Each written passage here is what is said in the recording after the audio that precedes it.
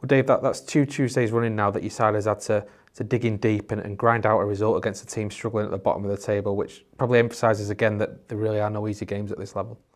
No, I, I think Tuesday across the league, I suppose, shows um, when you are coming on the back of a, a Saturday and a, and, a, and a different type of result and performance that you, it, they do become an arm wrestle. Um, and like I said, at half time there were no goals in either four games.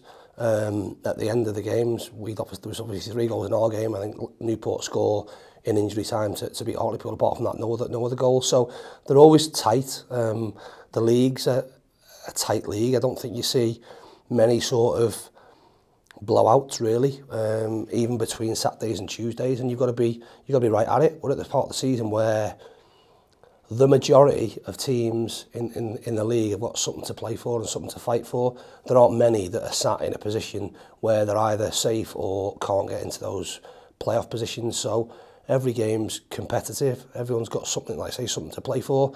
Um, and Tuesday night was no different for us. Is it the stage of the season now, especially in the middle of such a busy schedule, where it's more about the result than it is the performance?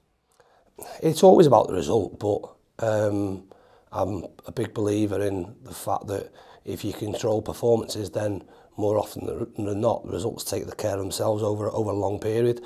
Um, if you aren't playing well, you're going to be very lucky to go on a, a, a winning run and, and win for a significant period.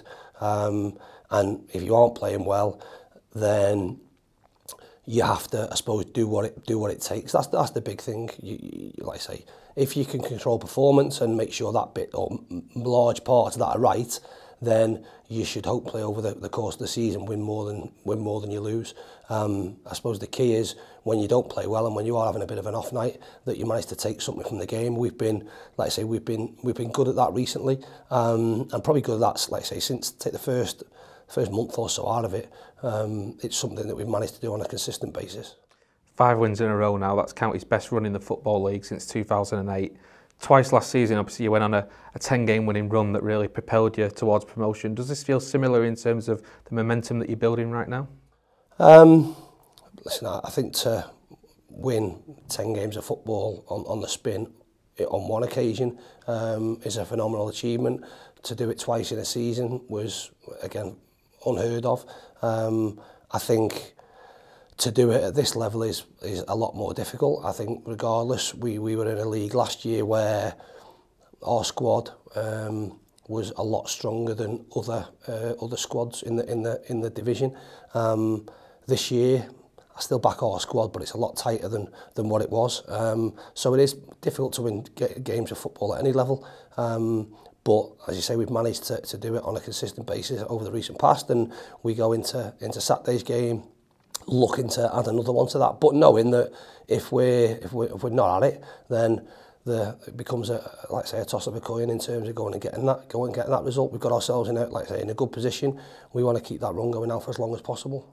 It's obviously a little bit different to this time last year in that for now at least you are the team doing the chasing rather than uh, being chased. Is that a, a different kind of pressure? No, I, I, pressure is what it is. Um, I'm, I'm not, a, like I say, a, big sort of, not believer in it, but it doesn't really affect where I'm at. Like I say, I, I think from a, a personal perspective and from a management perspective, what what we've tried to hammer home to the, the players is that it doesn't really matter where we are now. Listen, let's be very clear. I, I think if you asked every single manager team in the league, would you rather be sat in Leighton Orient's position, they'd all say yes. So if pressure for, comes from being 13 points clear at the top, like Leighton Orient are, we'd absolutely all swap with them. Um, so we came into this season wanting to be part of big games, wanted to be part of important games, and knowing that over 46 games, we wanted to finish in a certain position that hopefully would um, make the last bit exciting. That's what you do it for. Um, every single player that, that came here knew that that was the objective and where we wanted to be. Um, we didn't start as we wanted, but we've given ourselves an opportunity now. But there's still a long, long way to go. We're 14 games, 14 games left, um, lots of points up for grabs. We just need to keep ticking off wins and get wins as quickly as possible, if you like. But that's the same for every team in, in the division. The, the pressure, I suppose, at the top and middle end is a whole lot better pressure than um, than it is down the bottom when um, I suppose your, your football league future's on the on the line. Um, but as I said uh, previously, everyone's got something to something to play for. So um, if we can get into games where from the outside looking in, they look more important, have more pressure on them, then it says we're doing something something right, and I hope that's the I hope that's the case. Do you have a, a particular points target in mind over the next 14 games? Obviously, the last couple of seasons it's been around the the 79, 80 point mark in terms of that third automatic promotion? place. I think it'll take more than that. That's again, we, we do have a, um, a points total in mind, but we had a points total in mind at the, at the start of the season that we thought would potentially win the, win the league. And um, you're in a, a live, unique situation. in order and Miles outscoring that. Um, the other teams are sort of in and, in and around it. Um, so uh, what you have to, you look at it in both ways. Listen, we, we're aiming for a certain amount of points totals. We're going to look to win every game. We're going to look to win on Saturday and then move on to the next one. We have to chalk them off that way. If the, the points figure at the end of it is significantly less than we're aiming for, then we'll all be absolutely delighted. But I think we, we you get to a point in football where as much as you be optimistic, you have to be pessimistic in, in certain aspects, and we want to get as many points as possible, as quickly as possible, and then see where we stand. Great to see Fraser Horswell back on the bench on Tuesday. Presumably that's a situation that needs to be managed carefully in terms of integrating him back into the team, but I suppose the benefit of that is you've not needed to, to rush him back because of the job that Neil Byrne's been doing back there. Yeah, listen, we, we want everybody fit. Um, like I say, Sauce and Paddy been back out on the grass, and obviously Fraser's Fraser's back in. Um, the sooner we can get everybody back up to speed um, and giving us those options, the better. Um, I spoke to the players after the weekend, and again on on Tuesday, we're we've got a really strong squad where we're leaving players out of the squad, if you like, not based on performances, based on what we think is the best way or how we preempt games might go and where, how, where we might need to change it. Having Fraser back is, is massively important for us. Yeah, potentially it's one that we, we maybe need to manage, but I've no qualms about chucking him back in if, if, if we need to. Like I say, defensively, Burner's come in and, and done a really steady job, um, and that back three has looked really, really comfortable. Um, and like I say, if you'd have said that at the start of the season or midway through the season that you were going to lose one of your most influential players in Fraser for, for six weeks, you suggested that could have been a, could have been a problem. Um, so we've, we've managed to get over that hurdle, if you like, um, without losing momentum. We're now, uh, like I say, a, a really positive spot where he's back up to speed. He's absolutely desperate to get back in the back in the team and be part of um, hopefully a successful last part of the season.